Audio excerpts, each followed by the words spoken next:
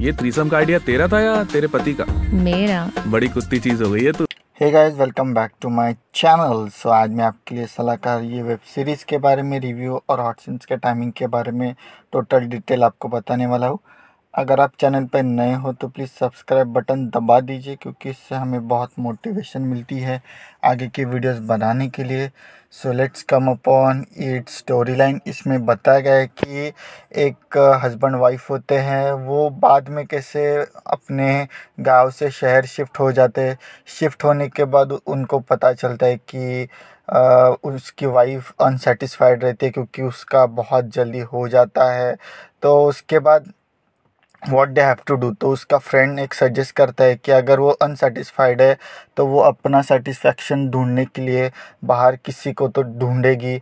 और बाद में अगर आपको ये पता चलेगा तो आपके बहुत इंसल्ट हो जाएगी तो आपको बहुत तकलीफ़ होगी। तो इससे बचने के लिए आप खुद ही एक लड़के को उसके पास लेके जाओ। इस इस वजह से आपकी इंसल्ट भी नहीं होगी और आप सेफ़ भी रहोगे।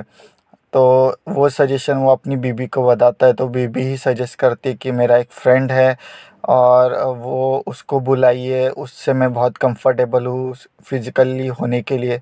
तो इस वजह से वो थ्रीसम का एक जो पार्ट रहता है वो हो जाता है तीनों लोगों में और उसके बाद कैसे उन तीनों में हो जाता है पर वाइफ को पता चल जाता है कि जो उसका जो हस्बैंड है, उसको लड़के ज़्यादा पसंद है, वो होमोसेक्सुअल है और ऐसे ही उसको पता चलने के बाद वो सदमे में जाती है। यही वेब सीरीज़ का टोटल सिनेरियो और ट्रेलर और स्टोरी है।